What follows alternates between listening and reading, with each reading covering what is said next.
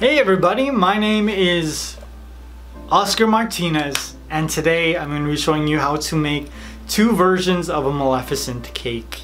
I'm going to show you how to make a cute version and then I'm going to show you how to make a realistic, terrifying version.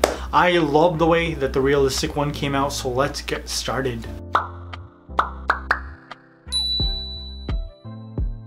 Now before we get to it, make sure you hit the like button because it helps me and the notification bell so that you can see all of the videos as they get posted. You'll be notified.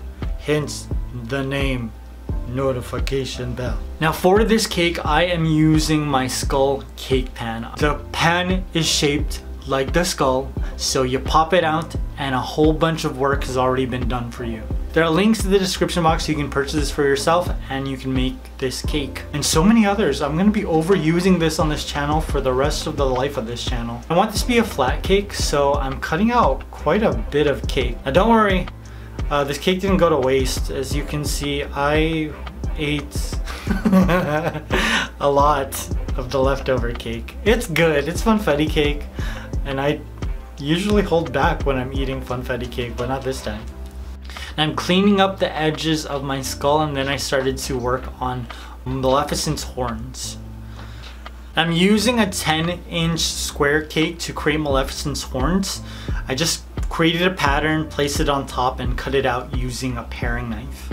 Now the tip of Maleficent's horn, I'm actually just gonna create that with fondant. I was scared that if I created it with cake, it wouldn't hold up because it's so small. And you better know that I'm gonna eat all of that cake as well. so I fit my skull cake in between my two horns. I'm not even joking you guys, I'm gonna eat all that cake. I just started to shape my Maleficent horns. Pretty basic shape, I'm just rounding down the edges. It doesn't look like Maleficent yet. It just looks like a really awesome skull. Maybe even like a devil with horns kind of a skull. But it'll get there.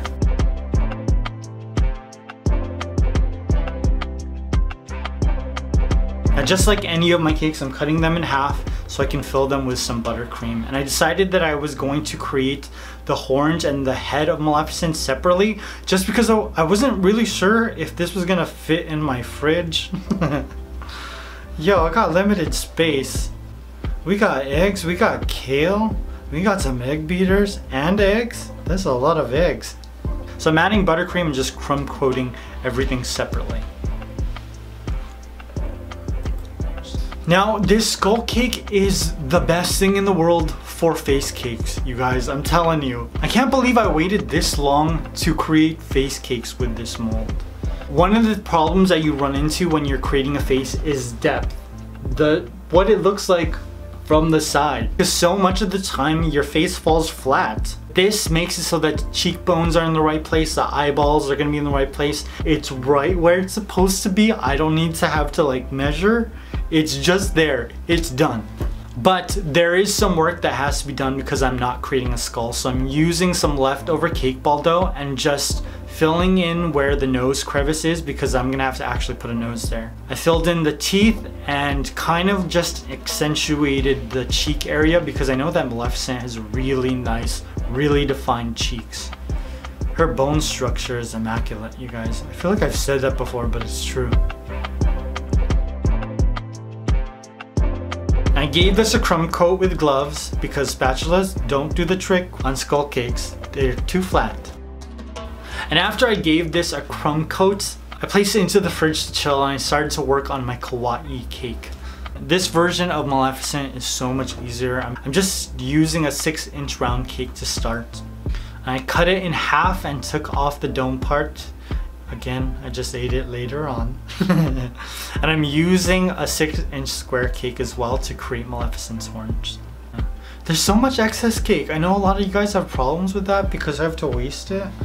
But it all goes down. it shouldn't though because I shouldn't be eating this much cake. On a Tuesday? Really? But I am. Just cutting out the basic shapes placing them on my cake board and creating my basic Maleficent shape. Very simple, just the round cake and two horns. Then I'm adding some buttercream. Now I had a lot of leftover buttercream from a previous project, so I'm adding some green and purple buttercream to fill in my Maleficent cake, which matches because these are the colors that Maleficent has, purple and green, except it's usually a lighter green. On goes a crumb coat. Um, and because this is a simpler cake, I'm not going to be working with the fondant too much. I didn't even put this in the fridge. I just started to add fondant. So we got green, a very olive green, and then black to create her headdress.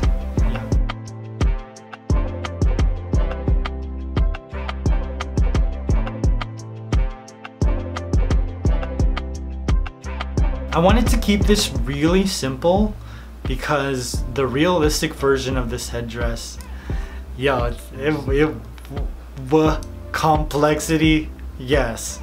I don't know how to put together a sentence sometimes. Now I am gonna add just a little bit of detail, kind of like the animated version. But I am gonna add like sort of like three dragon scales because that's some of the detail that the live action movie has. One of the things that I'm really proud of with this cake, the lips. I think that Maleficent's lips on the kawaii cake look so cute. And the eyelashes too really add a lot to this cake. To make it stand out even more, I'm painting a little bit of purple just to highlight her eyes so they don't look so flat. And voila, my Kawaii Maleficent cake was complete. Simple, but still very satisfying. Now let's move on to the realistic version. Now I'm adding fondant to create the bridge of her nose as well as her nostrils. Um, and I screwed up just a little bit because the bridge of her nose is a little too thick, but this was one of the first cakes I created using the skull cake pan. And so, I mean, it's a learning process. I started to shape her nose, give her this really tiny Maleficent nose, and then I started to create her eyes. And initially I was I used fondant pieces to create the eye and then I kind of messed up there too. Because I'm gonna add more fondant to create her eyes later on. She has really defined cheeks though. I really had to make sure that when I added red fondant to create her lips that I made them just as voluptuous and as full as Angelina Jolie's lips because her lips are like some of the most sought out lips in the industry. Mean, Octomom designed her whole face around Angelina Jolie. Do you remember that? Now because white fondant is easy to blend, it's really easy to create the eyeballs and the eyelids I was scared that you were gonna see the seams later on in the final product, but it's seamless. Once I finished shaping Maleficent's face, it was time to add her horns as well as the small pieces of fondant to create the tips of the horns. And I'm just gonna fill in all of the gaps that I had in between each of the cakes with some black fondant. And then I started to create her headdress. I am extremely happy with the way that the live action version of the movie brought this headdress to life because it doesn't look like this evil crown of horns. You know, it looks like it looks like a wrap.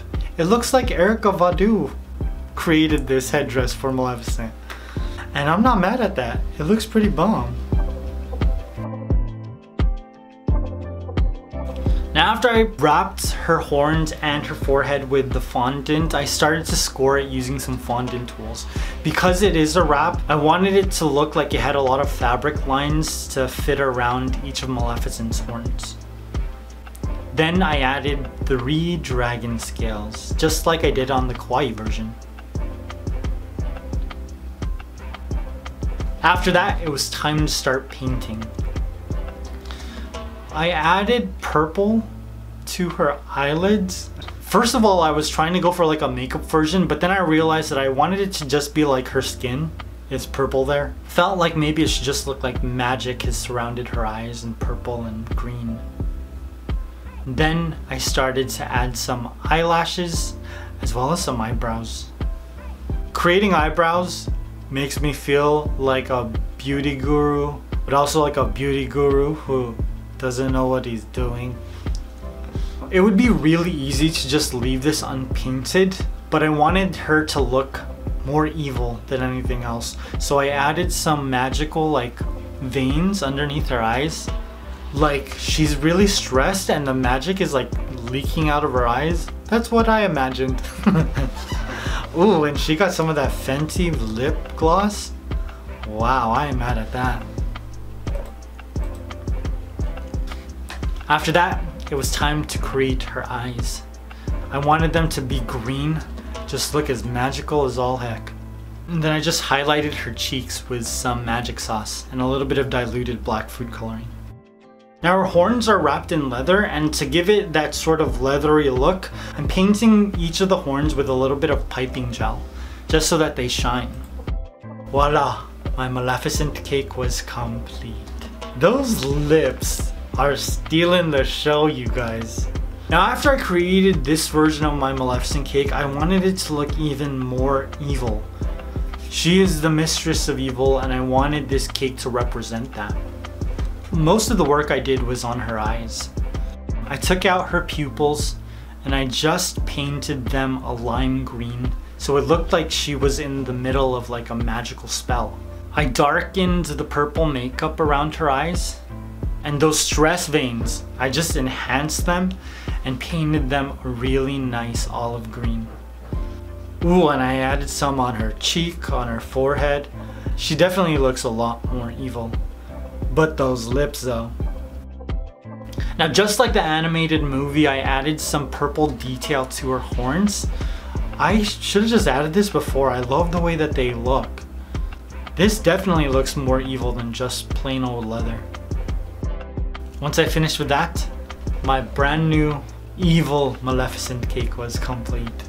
I love all of the new elements that I added. I love how much green magic is like swirling around her eyes. I love the purple in the eyeshadow, even though it looks disgusting and she put it on when she was in a dark bathroom. But those lips though, man.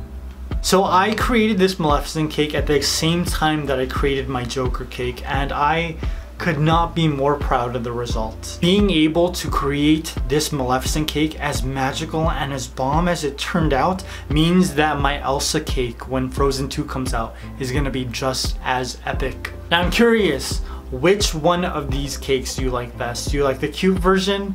I don't know. I don't think so. or do you like the swirling magical evil version?